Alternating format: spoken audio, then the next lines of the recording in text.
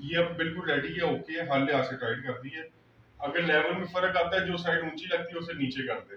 वो जहाँ पे छोड़ेंगे, वहीं पे रहेगी। इधर किया तो इधर है इधर है तो इधर है। जहाँ पे, अगर ये खड़ी नहीं होती तो मीन्स के वो नट लूज है।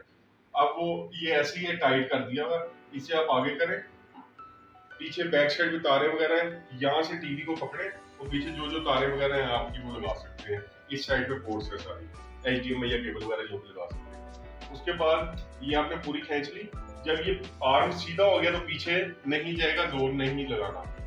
इसको यहाँ से बेंड देना और उसके बाद जब बेंड दे दें, उसके बाद आराम से प्लास्टिक को पकड़ के पीछे ले आना स्क्रीन पे लोड नहीं देना, पीछे ले जाना।